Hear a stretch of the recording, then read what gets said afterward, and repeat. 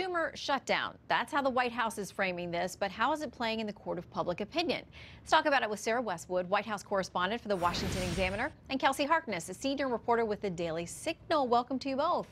Thank you for having us. Okay, so we have some up to date, fresh polling on this. So let's talk about this. First, let's look at our CNN poll. Uh, if the federal government shuts down, do you think uh, the president, the Republicans in Congress, or the Democrats would be most responsible? So 21% goes to the president, 26 to Republicans in Congress. So together, that's 47% of this that's going to the GOP.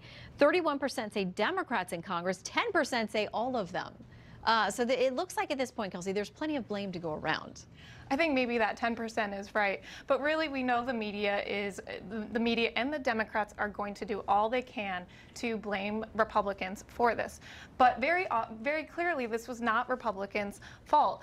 President Trump could not have been more transparent in this process in his attempt to reach a deal. He allowed national TV to actually witness the negotiations where we did see him attempt to compromise with Democrats and work with Democrats across the table.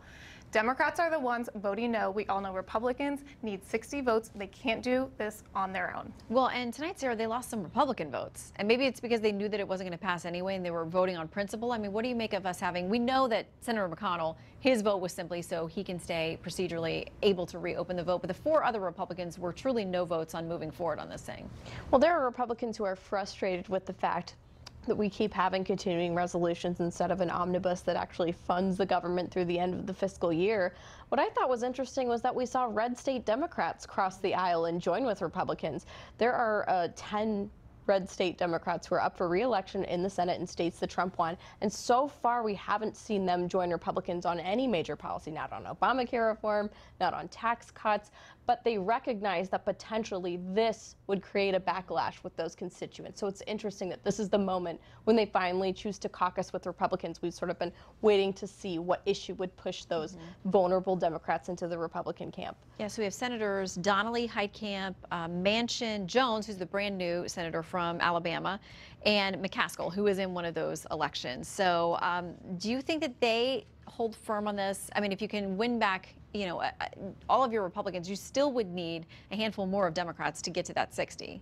Yes, and time is clearly winding down. Uh, we'll see if they can 23 meet the, minutes to go. the midnight deadline. But I think what's important to keep in mind here and what Americans actually realize is that Republicans had good intentions going into this.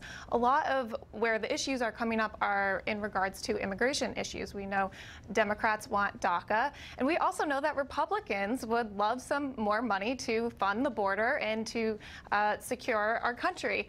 And neither one of them are getting what they want in this case. I can understand understand maybe blaming Republicans if they did uh, sneak in some of their border wall funding to this bill, but they didn't do that. And so neither side is getting what they want when it comes to immigration. So I think Americans are going to see through the blame game when Democrats do try to blame Republicans for this. But Sarah, are the Democrats getting something? Because uh, public opinion tends to be on their side, rightly or wrongly, when these things happen. So for them, if they think it's a winning uh, PR argument, even if they're not substantively getting what they want, do they still count this as a win. Well, maybe because in the past Democrats have successfully passed the blame off to Republicans when a shutdown happens, they think they can repeat it in this case.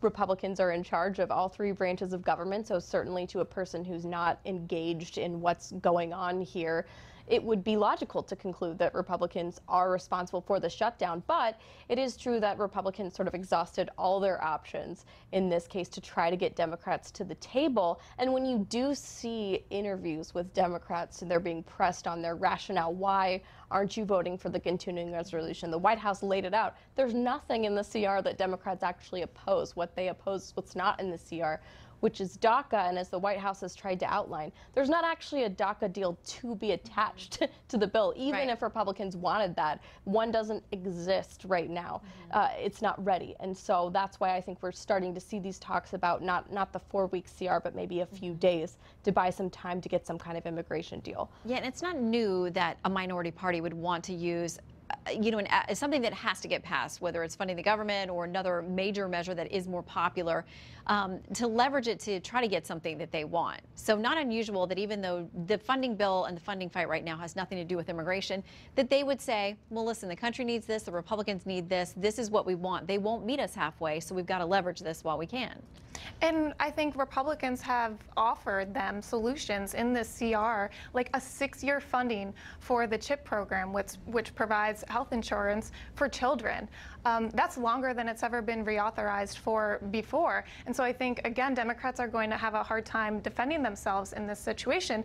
And we've already seen that Republicans are taking the high road. They've said they're not trying to politicize any sort of government shutdown, which is exactly what the Obama administration did when they faced the government shutdown in 2013. You heard all these sob stories on the media about World War II vets not being able to visit the memorial. Well, it seems like Republicans are doing everything they can in this case mm-hmm. to avoid that and to help enable life to go on as usual. Mhm, They're gonna. It's gonna be. It's business as usual. Wake up tomorrow. Everything's gonna be fine. I think this is gonna be much different than parks closed, signs hanging everywhere. All right, um, Kelsey and Sarah, thank you very much. Don't go far. All right, we are about 20 minutes from the deadline, as President Trump said. It's not looking good. So let's talk.